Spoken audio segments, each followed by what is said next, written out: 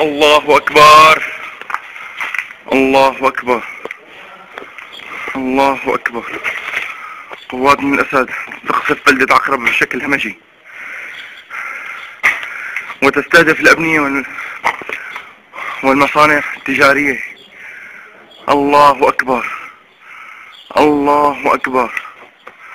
حسبنا الله ونعم الوكيل. 17 6 2013 الله أكبر عليك يا بشار.